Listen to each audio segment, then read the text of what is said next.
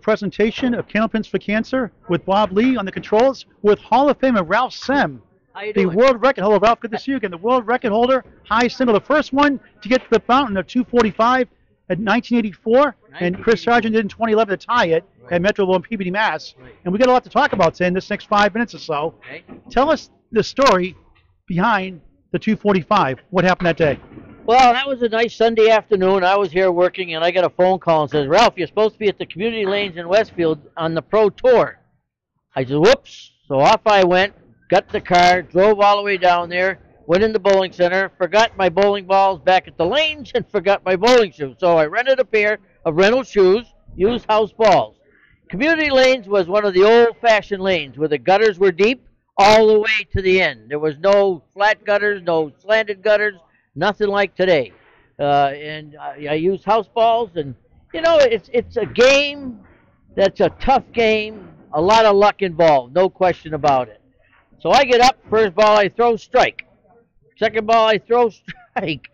Charlie Dutrus is bowling next to me. Steve Legenda's on the other side, and they're watching. Third ball, strike. Fourth ball, strike. Fifth ball, strike.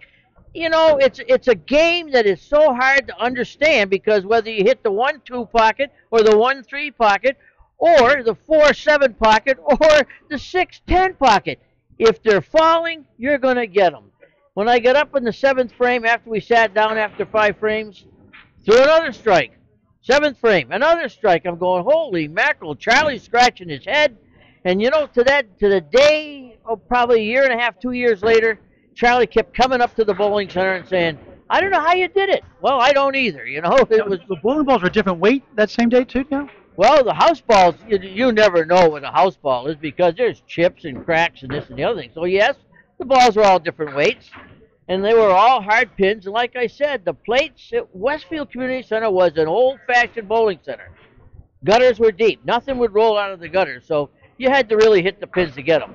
After that, I got three spares in a row, but you know, try to get a strike on Monday when Channel 40 wanted to watch it. I couldn't do that either. So did you get rid of your house? You get rid of your home, home bowling balls and your home shoes? I still have them all. I still have them all. Now, yeah. the question I have to ask you is, Yeah. if you didn't forget those, do you think you would have done the same thing? No, no, not a chance. Funny game, isn't No, it? yeah, it is a funny game. It, it, it is what it is. Candlepin is a New England sport, something that we all have grown up with. I came into this game in 1959. I was a ski jumper on a U.S. ski jumping team, on the Olympic team. My father says, What are you doing on a Saturday night? Well, we went bowling. We were down at West Point, it was 10 pin. The next week we were in Salisbury, Connecticut, it was duck pin. Then we're up at Greenfield, Mass, ski jumping. It's candle pin. I'm going, holy mackerel. Next thing I know, Dad says, I just bought 12 bowling machines from Bowl-Mor. It was the first time Bowl-Mor ever sold outright because they would always lease the machines. Dick Cowan and company, and Dick Eaton and, and, and Cowan, I forgot his first name now, they came up here. We opened this place on September 4th, 1959. I remember the Millers Falls Paper Company League Bowling up here. They came in to wait for the approaches to finish drying before they could bowl. Today, we were what, 40 years later or something like that, close to it, 50 years, 60 years, 60 years later. Time flies when you're having fun, I can tell you that. You know, the game is such an interesting game. Whether you, I I struggled one night to get a 70, and every, every the whole league stopped watching. they stopped watching. Look at Ralph; he's only going to have a 70. So you never know. You know, you could punch and punch and punch. To take a guy like Sim Susi today, who came in here at the bottom and had to bowl all those strings and come out on top, takes a lot of effort and a lot of strength. You know, but every one of us who bowls can, whether you're a female, a male, whether you're a child, it's a game that is so much fun. You can scream, you can holler, you can enjoy yourself. Unlike 10 pin, you know, where 10 pin, because I had 10 pin in the house once here already.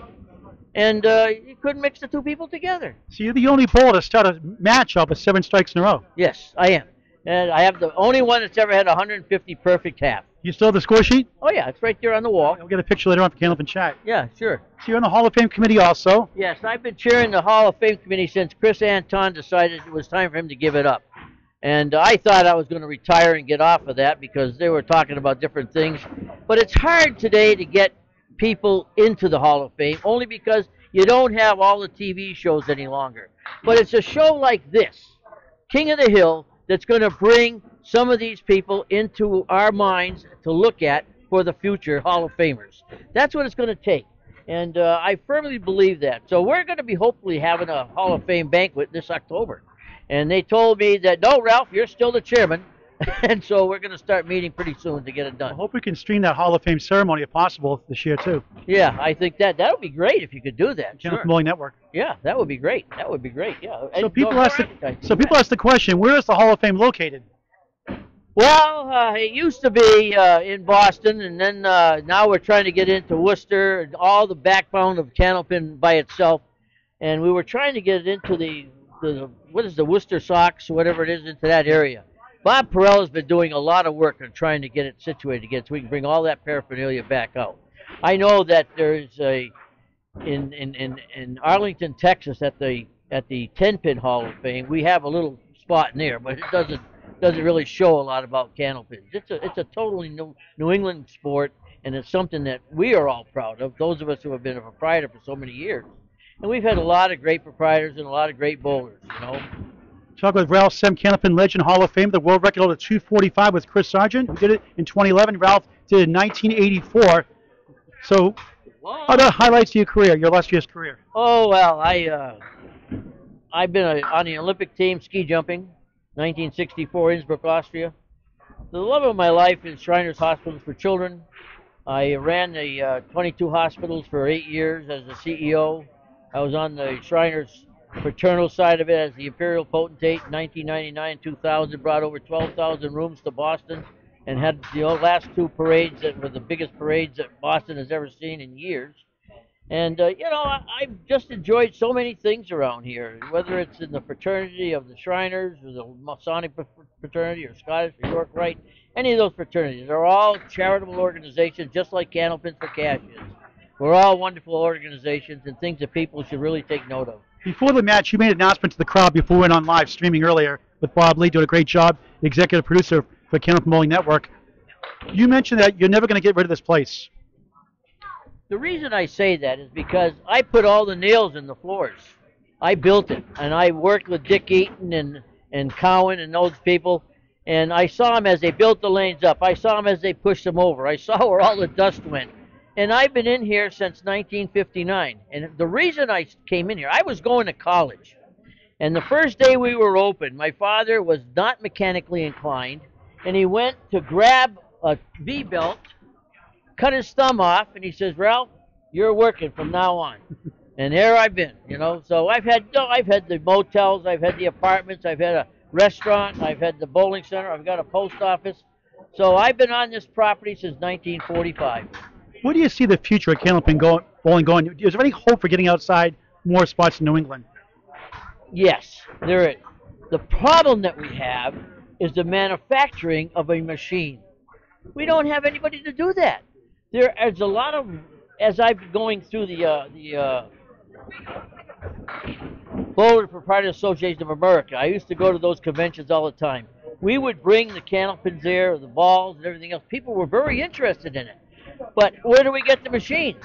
Candlepin specialists, they'll make a few, but nobody's making them in mass. And if we can get somebody to make them, I believe a lot of people in Florida, the seniors, would love to bowl candlepins down there. Absolutely. Texas, That's a sport for all ages, yeah. That's right. And I think that we it would happen, but we got to have a manufacturer. We got to have people make the product. So what is the what is the committee thinking about how to, how to do that? Is there a plan in place to try to do that somehow? We have tried to work with candlepin specialists and other people, and nobody's come up with a plan or a machine to do it. I mean, we're still working at it. I know the Scott Perella, who's the president now of the International Candlepin Bowling Association, which I was president for 24 years. You know, we've tried and tried and tried to work with people, but it's just hard because they don't think it can sell. We believe. We we went out to California one time and put in six lanes. The problem was nobody knew what to do with the bowling balls, and nobody was out there to teach them how to do it. And I went out there and they I, and I tried to show them. They said, "Oh, that's totally different." We would throw one ball, let somebody else throw another ball. Candlepin is a game that it's not quiet. It's fun, and people have to learn that. Now listen, I got one thing over you though. You got the world record at 245. You're in the Hall of Fame. There's one thing I got over you that you don't have on me. That's right. I got the last strike on Candlepin for Cash with Bob Gamere in 1980. Congratulations. My only, claim, my only claim to fame. it's a great claim to fame, let me tell you. Thank Sam, you much. pleasure to talk to you. Thank you very much. My pleasure. Ralph Semb at French King Bowling Center, Erving, Massachusetts with Bob Lee. I'm Paul Grant from Candlepin Bowling Network. Special interview with Ralph Semb. Thank you for watching Candlepin Bowling on